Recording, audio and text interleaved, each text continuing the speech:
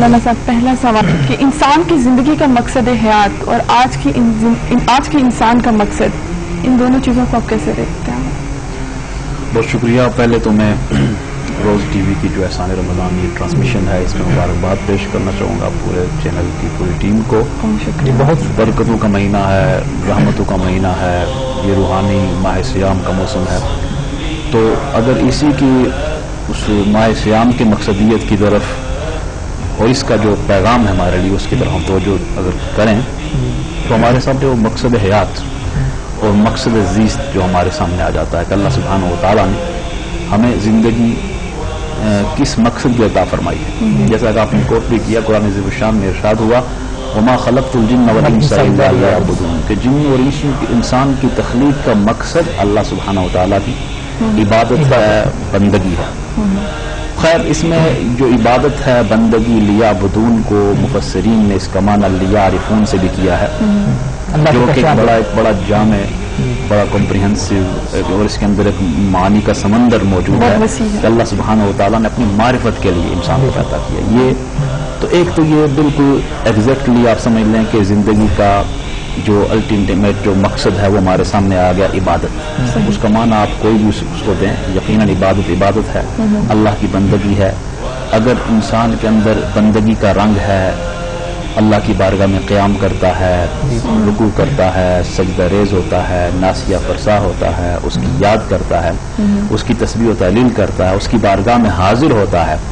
और इबादत और बंदगी का रंग अपने ऊपर चढ़ाता अपने ऊपर चढ़ाता है तो इसका मकसद यह है कि वो हम्म, ज़िंदगी के मकसद को समझ गया है मकसद हयात को पा गया है और उस रास्ते वो आगे बढ़ रहा है। ठीक। तो फिर ये इबादत का जितना बंदा इबादत में बंदगी में रासिक होगा और ऑफ़ कोर्स जैसे आपने कहा कि इबादत अल्लाह की इबादत हकूकुल्ला और उसके साथ हकूक इबाद पूरी लाइफ उसकी।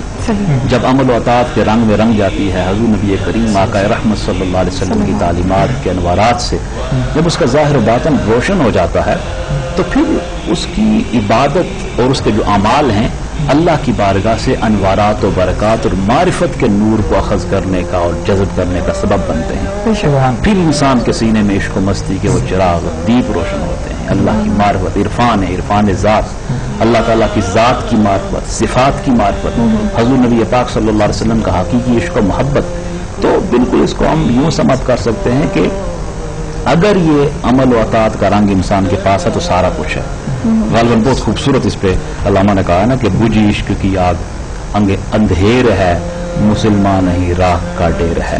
अगर ये चिराग रोशन रहे तो इंसान इंसानियत की महराज को पा जाता है। जाता है उसको बंदगी की, की हकीकत की खबर हो जाती है। तो यही मकसद जब इंसान अपने अंदर जहाँ के इस मकसद को समझने की कोशिश करता है तो अल्लाह इकबाल ने बहुत इस बात को गालबन आसान कर दिया कि न तू ज़मीन के लिए है न आसमां के लिए। जहाँ है तेरे लिए तू नहीं जहाँ के लिए। तो ये है कि बंदा आ, और सुफिया कराम ने बड़ी आसानी के साथ हमें यह सारी बात बंदगी का मकसद हयात इस सारी चीज़ को समझा दिया। उनके यहाँ ये कॉन्सेप्ट है कि बंदा इस इस जो आपने कहा कि किस तरह आज की लाइफ और मैं समझता हूँ कि ये बड़ा थोड़ा मुश्किल होगा कि हम हम लोग अमल से, अतात से, किरदार साजी से करेक्टर की डेवलपमेंट से बहुत दूर होते जा रहे हैं। और ये माह सियाम की यूनिक अपॉर्चुनिटी हमारे पास है कि हम अपनी ज़िंदगी को बदल दें, और इसमें एक रूहानी तब्दीली रूनुमा हो जाए। तो आज की ज़िंदगी को यकीन समझना बड़ा एक मुश्किल है, उस रंग से हम हम आहंग नहीं हैं, लेकिन फिर भी मायूसी की बात नहीं है। हमें फिर भी ये रोशनी आम करने की कोशिश करनी है, लो लगाने की कोशिश करनी है, इन बरकतों को समेटने की कोशिश करनी है। और आज की ज़िंदगी में मैं समझता हूँ कि जो ज़िंदगी का मकसद है, उसको पाने के लिए, उसको हासिल करने के लिए, अखज करने के लिए। और सूफियाना तालीमत में ये बात होती है, वो फरमाते हैं कि इंसान इस तरह ज़िंदगी को अमल व इबादत और अतात से आबाद कर सकता है कि उसका बातन खालक के साथ हो और ज़ाहिर मखलूक के साथ हो। बातन खालक के साथ। हमा वक्त अल्लाह। की याद। और सैदना सैद बहाउद्दीन शाह नक्शबंद बुखारी रदी अल्लाह ताला आप फरमाते हैं ये 800 साल पुरानी बात है तकरीबन। फरमाते हैं हज के मौका पे मैं मीना के बाज़ार में एक ऐसे बिजनेसमैन से मिला हूँ जो कमो बेश उस वक्त पचास हज़ार दिरम और दिनार की तिजारत करता है बिज़नेस करता है। लेकिन उसकी हालत ये है कि उसका एक उसका बातन उसका दिल कल्ब एक लम्हा के लिए अल्लाह की याद से गाफिल नहीं रहता। ये बंदगी का रंग चाहिए। हमारे दीन की रूह हमें यही रंग देती है। रूह चू रफ्त अज सलात अज सयाम फर्द ना हमवार मिलत निज़ाम। जब नमाज़ और रोज़े से रूह निकाल ली जाए ना फिर फर्द ना हमवार हो जाता है मिलत बेनिज़ाम हो जाती है। तो ये रमज़ान का मौसम हमें मकसद हयात को समझने और इसको हासिल करने के लिए इसके जो शब रोज हैं इसका जो टाइम टेबल है दिन रात का रोज़े का इबादत का तरावी का क्याम लैल का कुरान पाक की तिलावत का ज़िक्र रोज़गार का ये पूरा टाइम टेबल हमें उस मकसद हयात के करीब से करीब तर कर देगा। इसी मुझे सब अल्लाह फरमाते हैं कुरान में कि अफहसिन तुम अन्नमा खलकना तुम अबसा। लोगों को मुखातब करके कहा कि क्या तुमने ये समझ लिया है कि हमने तुम्हें बेकार पैदा किया है? तो अल्लाह तो मकसद की तरफ़ जो है इंसानों को बार बार ला रहा है। तो अल्लाह फरमा रहे कि क्या तुम ये समझ बैठे हो कि तुम बेकार पैदा किया गया तुमने हमारी तरफ़ नहीं लौटना। इस पे जरा रोशनी इससे पहले कि आप गुफ्तु का आगाज़ करें मैं दरमियान में फिर इंटरप्ट कर दूँ कि मैं जरा नाजरीन को बता दूँ। नाजरीन आप हमें कॉल भी कर सकते हैं। Two double three one six seven eight पर हमें लाइव कॉल कर सकते हैं। और पीर साहब और हाफिज साहब से जो भी आप सवाल पूछना चाहें हमसे पूछ सकते हैं। ठीक है? जी। देखें जो हमारा गुफ्तु का पहला हिस्सा आप साहब ने और सबने माशाल्लाह इसमें जो शेयर किया। आ, बहुत खूबसूरत आज के टॉपिक के हवाले से तमीद बन, बनी है और बड़ी इंफॉर्मेटिव बातें हैं। और सूरह अल की आयत करीमा का जो आगाज़ आपने करके ये फिर एक नए अंदाज में पहले मकसद हयात को बयान किया अगर आपकी इजाज़त हो एक कॉल ले लें जी, बहुत माजूर चाहती हूँ। जी अस्सलाम वालेकुम। हेलो? लगता है कॉल ड्रॉप हो गई है। आप सिलसिला इसी तरह की जो आयत करीमा उसकी शुरुआत में सारा सारे मकासद को बयान किया गया पूरा खुलासा बयान कर दिया। और यहाँ भी अब मैं समझता हूँ कि अल्लाह सुबहाना ताला ये कर्म नवाजी है उसकी रहमत है कि गोवा दिल के दरवाजे पर दस्तक दी जा रही है। और इंसान को वो मन में झांकने की जो दावत दी जा रही है कि इंसान अपने मन के अंदर झांके और इस बात का एहसास करे इन सारे सवाल का जवाब ले। और ये खूबसूरत अंदाज अपनाया गया फहासिब तुमन्नामा खलक क्या क्या तुम ये गुमान कर बैठे हो कि अल्लाह सुबहाना तआला ने तुम्हें आपस और बेकार पैदा किया? और फिर इस इस्तेफामा इनकारी के साथ आगे यानी आगे इन तमाम बातों को बयान करके बाकी मकाम पर इन मकासद को बयान किया गया और हमारी पूरी तवज्जो और फोकस उस मकसद हयात की तरफ़ मुबजुल करवाई गई। और यहाँ भी मैं समझता हूँ जैसा मैंने कहा कि इंसान अपने मन में जाके दिल के दरवाजे पर दस्तक ली जा रही है। इंसान अपने उस, जो ज़िंदगी के मकासद हैं, जो उसके ऑब्जेक्टिव्स हैं, उनके पाने के लिए वो क्या कर रहा है? वो कितना आगे बढ़ रहा है? अल्लाह की बारगाह में अतात कर रहा है, उसकी फरमान बरदारी कर रहा है। और अमल और अतात के जेवर से क्या वो अपनी ज़िंदगी को आबाद कर रहा है? तो ये क्वेश्चन एग्जैक्टली इस आयत करीमा में, ये हमारे गोया जमीर की तख्ती पर, दिल की तख्ती पर ये क्वेश्चन मार्क है। और इसका जवाब हम में से हर एक ने अपने मन में झाँक कर अपने बातन में झाँक कर इस बात का जवाब देना है कि अगर तो इसके जवाब में हम सेटिस्फाई हैं तो अल्हम्दुलिल्लाह का अल्लाह का शुक्र अदा करना चाहिए। ये शुक्राना है, नेमत का मौसम है। अगर ये इसका जवाब सेटिस्फैक्ट्री नहीं है हम अगर अमल से दूर हैं अतात से दूर हैं नाफरमानी और मासीत की ज़िंदगी से अल्लाह बचाए अगर हम इस तरह की ज़िंदगी में पड़े हुए हैं तो अल्लाह सुबहाना ताला की रहमत बड़ी वसी है। मिन रहमतिल्लाह। अल्लाह की रहमत से मायूस नहीं होना चाहिए। वो तो खासकर इन इन रहमत और इस बख्श मगफरत का जो अशरा है, इनमें उन रहमतों और बख्शिशों का वरूद हो रहा है कि उसकी बारगाह में इंसान हाजिर हो, उसके हरीम किबरिया में हाजिर हो और अपनी ज़िंदगी को आबाद करने की कोशिश करे। तो यहाँ मैं ये नुकता ज़रूर ऐड करूँगा कि असल बात यह है कि आईटी का दौर है और सोशल मीडिया और आज माशाल्लाह मीडिया का दौर है टेक्नोलॉजी का दौर है तो इसमें जस्ट क्लिक करना है। हम अगर क्लिक कर पाए अपने दिल को हार्ट को अपने मन में डूब कर पा जा सुराग ज़िंदगी। तू अगर मेरा नहीं बनता न बन अपना तो बन। तो सूफिया कराम ने खासकर मेरा तल्लुक खानका दरगाह से है वो इंसान के मतलब खुद कहते हैं कि इट सेल्फ एक यूनिवर्स है। Itself a universe। अपने अंदर एक कायनात oh, yes, इसको आलम आलम सगीर कहा गया और वो या यूनिवर्स इसको आलम कबीर कहा जाता है। तो इंसान जब अपने अंदर झाँक लेता है मन आरफा नफ्सहू फकद आरफा रब्बहू हो जिसको अपनी पहचान हासिल हो जाती है अल्लाह सुभान व तआला ने मुझे तखलीक क्यों किया है? मकसद जीस्त क्या है? मकसद हयात क्या है? तकनीक का मकसद क्या है? वो मकासद और ऑब्जेक्टिव्स क्या हैं? मेरी अल्टीमेटली जो मेरी डेस्टिनेशन है मेरी लाइफ की वो क्या है? अगर इन इन मकासद को वो समझ जाता है और अपने मन में सही मानों में झाँक जाता है तो फिर रंग और होता है। फिर रंग ये बनता है कि वस्तुद वक्त अरे बंदे सजदा कर। एक ही सजदा कभी कुर्ब विशाल का बायस बन जाता है और कहीं एक ही सजदा के ज़रिए उस पर अल्लाह ताला की बारगाह से मार्फत के अनवारात की मुँह मूसलाधार बारिशें होना शुरू हो जाती हैं तो उसके ज़मीन को रोशन कर देती हैं उसके बाद एक ही सजदे का इनकार जो है। वो इंसान को तबाह बर्बाद कर देता है। तो गुमराही में डाल देता है। और कहीं एक ही सजदा इंसान को आबाद करके मार्फत- नीचे वाह हो जाते हैं। उसका। जिस तरह हाफिज साहब ने वो हदीस पाक कोट की ना इत्तकू फरासत मुमिन फ़इन्नहु यंजुर बिनूरिल्लाह मोमिन की फिरासत से उसके विजडम से उसका जरा ख्याल करो जरा बचो। इसलिए कि अल्लाह के नूर से देख रहा है होता है। अगर आपकी इजाज़त हो तो एक कॉल ले लें जी। अस्सलाम वालेकुम। अस्सलाम जी जी। कौन और कहाँ से? मैं खान मुस्तफ़ा बात कर रहा हूँ सैयद अजहर अली शाह काजमी जी जी फरमाइए क्या पूछना चाहेंगे? जी माशाल्लाह आज बहुत अजीम हस्तियाँ आपने अपने प्रोग्राम में जो मधु की हैं। जाने के दिल बड़ा बाग बाग हो गया बिलखसूस अली शाह बुखारी और हज़रत अलामा शेख मोहम्मद कासिम साहब कारी मोहम्मद शहजाद साहब। बहुत तो ये हमारे हमारा सरमाया है अलहमदुल्ला बेशक, जी, बेशक बेशक। ताकि गुफ्तगू दोनों हजरात फरमा रहे हैं। अल्लाह पाक इनका ये आना हमारा सुनना अल्लाह पाक और मंजूर सवाल पूछना चाहूँगा? चाहेंगे कि पीर से भी और हज़रत अलामा एक आई थिंक कॉल जो है। जैसे हमारा आज मौजू है मकसद हयात हसूल खाशात या तस्वीर कायनात हसूल खाशात जो है हम इसके पीछे भागते हैं ज़्यादा। ऐसा क्यों है?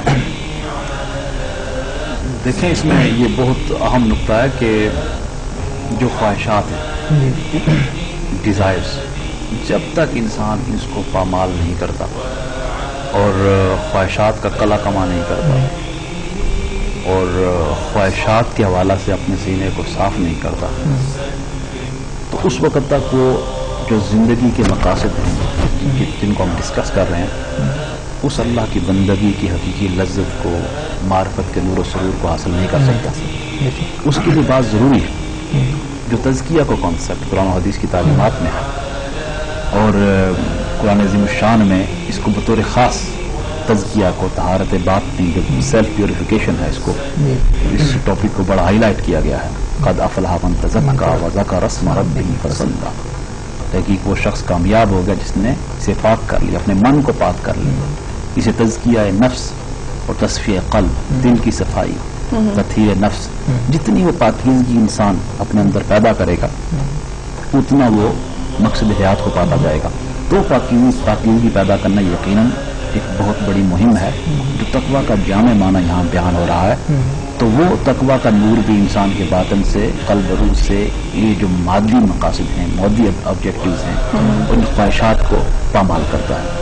और जब इंसान किसी अच्छी नस्बत में आ जाता है, अच्छी संगत में आ जाता है, अच्छी मजलस में आ जाता है, अल्लाह वालों के साथ उसका ताल्लुक कायम हो जाता है तो उन्हें अल्लाह सुबहाना तआला ने वो बात में तसरफ दिया होता है जिस तसरफ की बिना पे उसके दिल से ख्वाहिशात के बुत पाश पाश हो जाते हैं। और वो ख्वाहिशात की उस दुनिया से निकलता है। तो बिल्कुल इसको हम यूँ समझ करें कि डिज़ायर की उस दुनिया से हर सूरत इंसान को निकलना होता है। लेकिन ख्वाहिशात तो इंसान का हिस्सा है इंसान तो ख्वाहिश करेगा क्योंकि खैर और शर का मादा है। एग्जैक्टली आपने बहुत अहम बात की है।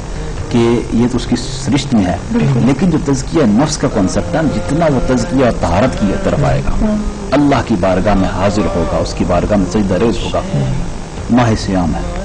ये तजकिया तहारत का सारा ये तुम्हारे पास टेबल है। हजूर नबी पाक ने इरशाद फरमाया लिकुल्ली शैइन ज़कात। व ज़कात जसद यस्सौम कि हर चीज़ को पाक करने का उसको प्योरिफिकेशन का कोई ना कोई निज़ाम होता है। और जो जिसम को पाक करना है उसका निज़ाम रोज़ा है। तो इबादत के ज़रिया से अल्लाह की याद के ज़रिया से अल्लाह की इश्क की हरारत के सबब से नबी पाक सल्लल्लाहु अलैहि वसल्लम का इश्क व मोहब्बत कुत इश्क से हर पस्त को बाला कर दे। दहर में इसमें मोहम्मद से उजाला कर दे। तो जब ये चिराग हम रोशन करते हैं जब ये रोशनियाँ मखज करते हैं जब ये लो लगाते हैं लोए लो लय पारले कुड़िए ये तू पांडा करना। शाम पई फिर दिन शाम मोहम्मद कर जानी ने डरना। और पिछली राती रहमत रब दी करे बुलंद आवाजा। बख्शिश मंगन वाले कारण खुला है दरवाज़ा। तो ये सारी बातें ये दिन और रात के अल्लाह ने साथ हैं हमें इसलिए अता की हैं जब हकीकी याद का रंग चढ़ जाएगा तो आप जो कहती हैं ख्वाहिशात का उसके अंदर जो चीज़ें तो हैं। आपकी इजाज़त हो तो एक कॉल ले लो फिर आप गुफ्तगू का सिलसिला जारी रखिएगा जी अस्सलाम वालेकुम। वालेकुम अस्सलाम। मैं इरफान बात कर रहा हूँ। जी जी। इस्लामाबाद से। जी जी इरफान क्या पूछना चाहेंगे? जी मेरा फिर सबसे सवाल है रोज़े के रोहानी फवायद कैसे हासिल किए जा सकते हैं? दोबारा कीजिएगा। फवायद हम हासिल करते हैं लेकिन इसके रोहानी फवायद क्या है? रोज़े के फवायद जी हम हाँ, बात करते हैं। ठीक है, आपसे पूछते हैं जी ठीक है। रूहानी फवायद। और एग्जैक्टली ऐसा ये जो सारे रोज़े के बेनिफिट्स को हम डिस्कस कर रहे हैं। सारी बातें। तो देखिए जितना बंदा आ, अपने आप को परफेक्ट करेगा उसके अंदर इस्तेकामत आएगी स्टेट फेस्ट हो जाएगा शरीर के रास्ते पे उतना ही फवायद को पा लेगा हजूर नबी पाक सल्लल्लाहु अलैहि वसल्लम के जो मामूलात हैं मामूलात नबी माह सियाम के दिन का रोजा रात की इबादत। इनको अगर हम अपना लें तब समझ लें हमें सियाम भी मिल गया है रमदान भी मिल गया है सब कुछ मिल गया बल्कि हमें रहमान मिल गया सब। नसीब हो गया है। नबी पाक वसल्लम की सुन्नत पाक से लो लगा के और हम उन तमाम ख्वाहिशात के उस जंजाल पूरे से और उस जाल से उस दलदल से भी निकल सकते हैं। और जो रूहानी समरात और बरकत हैं जो स्पिरिचुअल बेनिफिट्स हैं इस रोज़े के मक- वो उन बरकतों को समेट सकते हैं। ज़ाहिर व बातिन का बात बेशक ऐसा ही। है इस कहते हैं कि मंथ्स तो उनके जो नस्बुलैन भी होते हैं वो भी फानी ज़िंदगी से ही वाबस्ता होते हैं। एक मुसलमान इस चीज़ को किस दायरे में देखता है? ठीक है। By, we have to understand purpose of life. We shouldn't miss this opportunity, this chance. तो अगर इस चांस को हम मिस कर जाएँगे जो वंस दिया गया है ये ठीक है आप जिस तरह कहती हैं कि वेस्टर्न वर्ल्ड में जो मटीरियलिस्टिकली इस चीज़ को ज़्यादा अंडरस्टैंड किया जाता है कि ठीक है जो ज़ाहिर पर्पज ऑफ़ लाइफ है उसका पूरा उसको पूरा करें। लेकिन ये दीन रहमत की बहारें हैं कि पूरी वेस्टर्न वर्ल्ड में भी इस वक्त जो एक यंगस्टर में खासकर जो मायूसी है लोगों में और वो किसी ट्रूथ की सर्च में है। किसी सच्चाई की जस्तजू में है। किसी सच्चाई की तलाश में है। वो पीस ऑफ़ माइंड चाहते हैं पीस ऑफ़ हार्ट चाहते हैं। आप देख लें आज इंफॉर्मेशन का दौर है डिप्रेशन आम है। बिल्कुल ऐसा ही है। परेशानियाँ हैं इसतराब सुकून नहीं मिल है। रहा। सुकून नहीं मिल रहा। और मेरे इसमें एक्सपीरियंस भी हैं। लंदन में यूके में आ, एक जवान मुसलमान हुए थे हमारे साथ वहाँ तो उनका कोई रिलीजन नहीं था। अच्छा. यस तो आप मस्जिद में आए और हमारे वहाँ माशाल्लाह स्कॉलर हैं, नस्बत हमारी में प्रोफेसर मसूद अखबारवी साहब। तो उन्होंने उनको गाइड किया। तो वो उनका कोई रिलीजन कुछ नहीं था। तो उसने कहा कि मैं बस सुकून की तलाश में था। मैं एक स्ट्रेस में था, परेशानी में था। तो उसके लिए वो आए और अल्लाह का शुक्र है, कलमा पढ़ा, दीन इस्लाम की रहमत की। इस इस एनवायरनमेंट में आया और उस शख्स की ज़िंदगी बदल गई और बदल गई, उसको बरकतें मैसर आई। तो इसमें मैं गुजारिश करूँ कि बहुत अहम क्वेश्चन है। लेकिन मैं इस इस चांस को यकीन मिस नहीं करना चाहिए। हमारे सामने अल्लाह का शुक्र है। हमारे सामने यकीन तालीमत ऐसा हदीस की- तो मुसलमान भी तो बड़ी डिप्रेशन का शिकार है। इसके बारे में ठीक है अल्लाह ने अल्लाह ने इसका हल बताया है। लेकिन कुरान कुरान हदीस में ये तालीमत मौजूद हैं। और ये तालीमत आफाकी हैं कायनाती हैं। हुबल्लिन्नास यहाँ साहब ने आयत पेश की। पूरी इंसानियत के लिए हर एक को रहबरी रहनुमाई। तो अगर अब अगर देखें वो जो माशरा वेस्टर्न माशरा अगर वो परेशानी में है उनको गाइडलाइन की ज़रूरत है। हम प्यार से मोहब्बत से पूरी अपने अंदर बर्दाश्त रख के तहमुल रख के टॉलरेंस रख के नाइस डील करके एक नाइस एटीट्यूड के साथ हम हमत के साथ दीन का पैगाम जिस जो अवेलेबल सोर्स हैं मीडिया है इसके ज़रिए से जैसे भी मुमकिन है इसको पूरी मोहब्बत के साथ अमन और, और, और बरकत के तहत हम काम करें। दूसरी जब मुसलमानों की बात करते हैं तो मुसलमान की अपनी गलती है ना? अब वो मुसलमान है जब देखें हम अगर अल्लाह की बारगाह में हाजिर होंगे बाजू का हम बातें बड़ी कर लेंगे, लेंगे लेकिन हम अगर थोड़ा जज करेंगे अपने आप को पाँच वक्त की नमाज़ अगर नहीं पढ़ते तो अगर एक नमाज़ नहीं पढ़ता तो उस पर कौन सा दम है जो असर करेगा ठीक है बुज़ुर्गों का बुज़ुर्गों की दुआ दम फिर सब कुछ शिफा देता है लेकिन उसकी ज़्यादा ब्लेसिंग आप तब ले सकते हो जब खुद बंदा नमाज़ पढ़ेगा। तो मुसलमान ने जो सेटिस्फेक्शन लेनी है। अला ज़िक्र आगाह हो जाओ दिलों का सुकून अल्लाह की याद में। तो अल्लाह की याद का जब चिराग रोशन किया जाएगा याद इलाही में इंसान मुस्तगरक होगा उसकी बारगाह में आएगा। उसकी बारगाह में क़याम सजूद और रुकू करेगा उसको याद करेगा। तो याद इलाही। और इस वक्त मैं आपकी ट्रांसमिशन के ज़रिए से मैं बिल्कुल पूरी कौम को जो जो कि इजतराब हमारे अंदर है आपने बहुत अच्छा इसको पॉइंट आउट किया। मैं समझता हूँ कि इस इजतराब को और इस कन्फ्यूज़न से हमें निकलने की ज़रूरत है। और वो निकलने का वाहिद रास्ता ये रमदान का मौसम है। अल्लाह की बारगाह में हाजिर हों और हजूर नबी पाक सल्लल्लाहु अलैहि वसल्लम के दाम और रहमत से वाबस्ता हो जाए। सरकार मदीना सल्लल्लाहु अलैहि वसल्लम की गुलामी इख्तियार कर लें तो ये सुकून हर तरह का। हम सारे डॉक्टर इकबाल ने कहा था ना मुसलमानों में खून बाकी नहीं है मोहब्बत का जुनू बाकी नहीं है। सफ़ेद कद दिल परेशान सजदा बेसोक कि जज्बे अंदरू बाकी नहीं है। ये जज्बे में बासनी लो है रोशनी है ईमान की हरारत है। ये हकीकी सुकून है। और ये जो पर्पज ऑफ़ लाइफ जो एक ही चांस अल्लाह ने दिया उसको पाने का इसके अंदर सारा इसको। गया नहीं करना चाहिए।